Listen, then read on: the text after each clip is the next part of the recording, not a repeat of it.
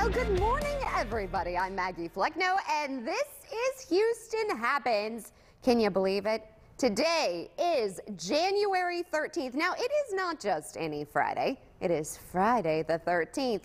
Do you consider yourself a bit superstitious? I know I do. So here's the thing. You may want to avoid breaking a mirror, ooh, walking under a ladder, never do that, or crossing in front of a black cat.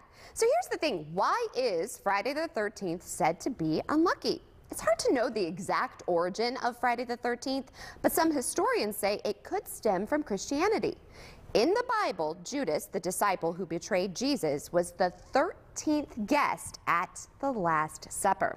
Now, the next Friday the 13th will happen later this year in October, and I have to say, that is actually the luckiest day because that is the day my baby girl, May, one. Here she is when I made my debut from maternity leave on Monday. And look at that face. I mean, she was born on October 13th. In fact, she turns three months old today. And looking at that face, I would say Friday the 13th and every day is the luckiest day with her in it. Happy three months, baby girl. Mommy loves you. She's watching right now with Nana and Papa.